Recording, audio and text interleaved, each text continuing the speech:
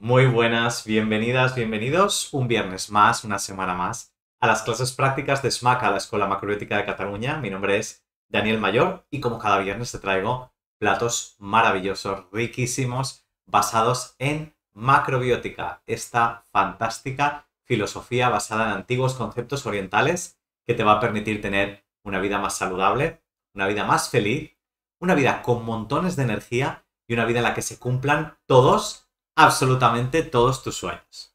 Hoy vamos a hacer unas chiribías caramelizadas. Voy a hablar de un poco de la chiribía. Mira, se me ha olvidado coger una chiribía entera, pero eh, porque es una verdura que eh, no es muy conocida en muchas partes y a lo mejor se le conoce con otros nombres. Eh, los ingleses le llaman parsnip y en algunos lados la he oído como zanahoria amarilla, ¿vale? Es efectivamente, a ver, voy a mostrarlo. Es efectivamente, tiene el aspecto de una zanahoria, pero de color es, tiene un color como amarillento. Y otra cosa importante es que el sabor no tiene nada que ver a la, zanahoria. Es un sabor dulce, pero un sabor dulce muy intenso. Entonces, es una. La chiribía es una verdura que se utiliza mucho para hacer caldo. Y yo siempre la he visto, por lo menos en zona donde yo vivo, aquí, aquí en Cataluña y en Valencia, siempre se ha utilizado básicamente para hacer caldo y para dar un sabor más suave a los caldos. Porque tiene un sabor un puntito más gin. Y ese punto también dulce ayuda mucho. Eh, en Inglaterra, yo sé que se usa en Estados Unidos también.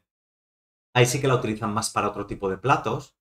Y a mí me gusta también usarla no solo en caldos, porque tiene una versatilidad muy potente. Y sobre todo, la chiribía, si la cocinas bien, puede parecer incluso patata.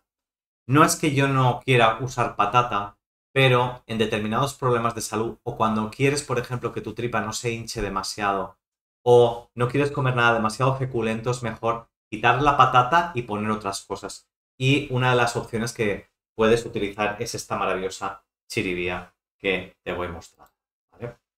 Ahí la tienes. Y eh, la he cortado en cuadradito. La podéis cortar como queráis, la podéis cortar en rodajas para esta receta, pero yo te recomiendo que la cortes en trozos pequeños, pero eh, que tenga como cierta textura, porque la idea de estas chiribías es que se van a quedar, pues eso, caramelizadas y entonces va a quedar un sabor dulce, súper rico, pero aparte, ya que estamos en otoño, eh, por lo menos cuando estoy grabando este, este vídeo, eh, quiero darle un toque también, siempre dulce, pero también un toque un poco picante. ¿Por qué? Porque en, otoño estamos eliminando los excesos del verano y el sabor picante ayuda a movilizar todos esos excesos y expulsarlos. Hay muchas formas de hacerlo la forma japonesa, pero yo voy a utilizar una forma más española y es con ajito, ¿vale? Con ajos directamente. Ahora vamos a aprender a usar los ajos para que no repitan y para que nos sienten perfectamente. ¿Cómo vamos a proceder? Pues mira, te lo voy a contar rápidamente. ¿Vale? Tenemos... vamos a hacer lo siguiente. Tengo una olla. Vamos ya con... Para que veáis bien cómo va esto. Tengo una olla y voy a calentarla bien para ir primero friendo los Mira, si quieres tener un sabor, un picante de buena calidad, eh, yo, a ver, a mí me gusta mucho la macrobiótica, pero me gusta también mucho entender la alimentación de cada país. Aquí en España, sabéis que somos muy eh, fans, por decirlo de alguna manera, del ajo, pero del ajo bien cocinado. Hay un error muy grande ahora con el tema del ajo porque no se sabe usar, básicamente. Si tú sabes usar bien el ajo, el ajo tiene el punto picante necesario para que luego no te dé eh, problemas, ¿vale? Si no puedes usar ajo porque tienes intolerancias o lo que sea, busca otro picante que sea interesante para ti. Mostaza, podría ser mostaza en polvo o algo, o un poco de chili también podría valer.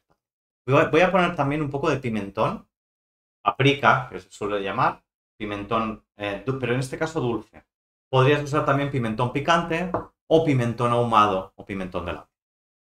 Cuando ya tengo esto calentito, voy a añadir aceite. como quiero que quede caramelizado, la cantidad de aceite no es que sea un montón, pero no va a ser poquito, va a ser una cantidad interesante. Y voy a ir añadiendo los ajos. Los ajos, como hacemos también aquí en España, eh, cogemos el diente de ajo, lo partes por en medio y de esta manera se puede cocinar mejor y también aportará ese punto. Entonces vamos a sofreírlos, nada, un poquito, vamos a esperar un ratito y conforme se están sofriendo, añadiremos también la chiribía. Ya habéis visto cómo está hecha. Eh, la chiribía la vamos a, a saltear un poquito, sobre todo que coja, porque para que esto quede bien caramelizado, tenemos que darle por fuera una cocción bastante fuerte. Entonces estaré un rato salteando y luego lo que haré es bajar el fuego. Dependiendo, no sé qué cantidad de chiribía he hecho hoy y la olla.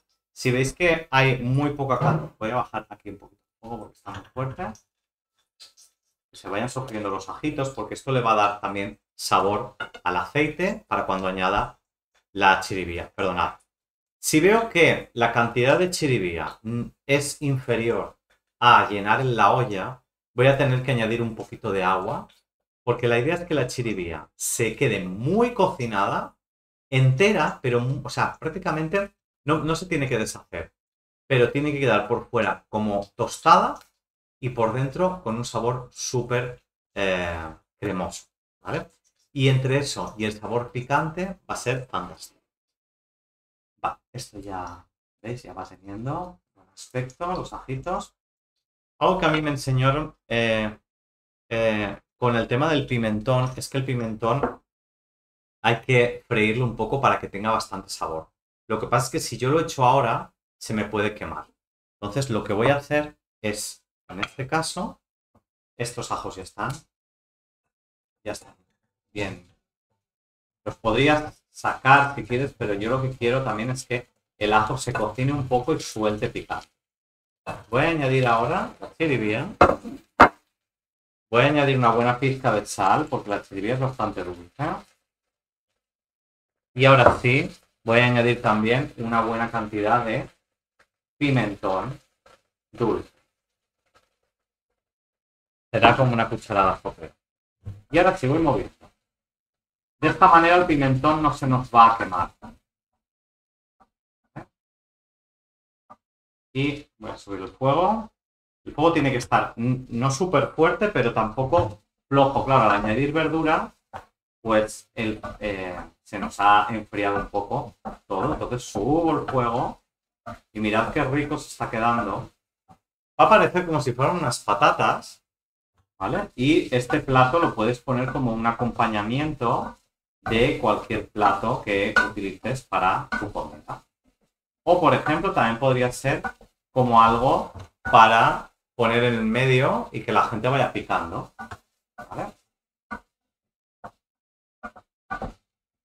Y le vamos dando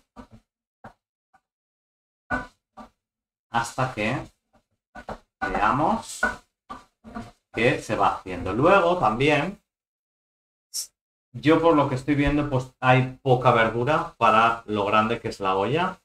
Entonces lo que voy a hacer es, cuando vea que ya está bastante bien, le voy a, le voy a poner un poquito de agua. tengo tapa, ahora luego buscaré una tapa.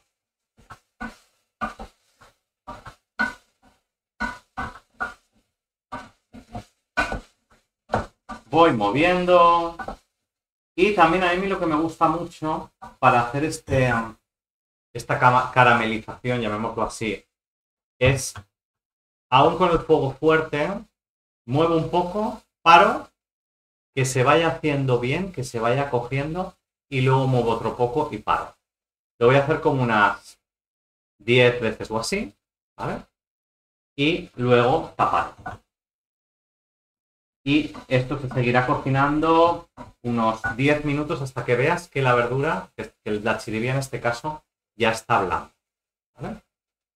Pues bueno, con la magia de, de este directo voy a hacer que esto se cocine mucho más rápido en 1, 2 y 3.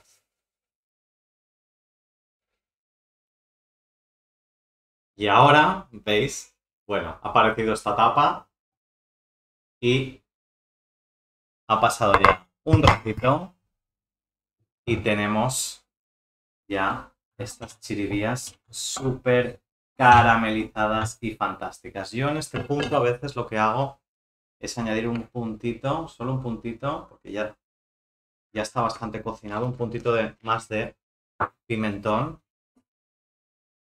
y que con el calor se acabe de cocinar todo. Y voy a emplatarlo para que lo veas.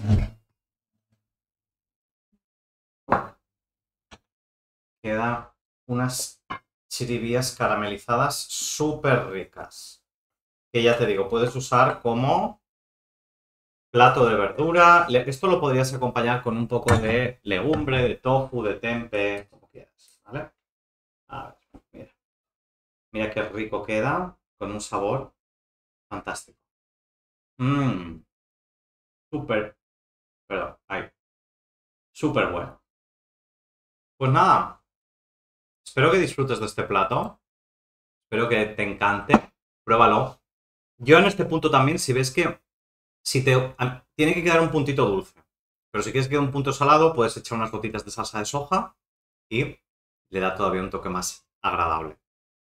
Bueno, pues nada, aquí tienes otro plato más para añadir a tu lista de recetas saludables que como cada semana te traigo aquí en Smaca. Si quieres más recetas como esta, estamos todavía haciendo un reto que se llama Objetivo Vientre Plano. Mira aquí abajo en la descripción pincha en leer más y verás un enlace. Todavía te puedes apuntar y hacer algún día de este reto que te va a ayudar a muchísimas cosas. Venga, un abrazo.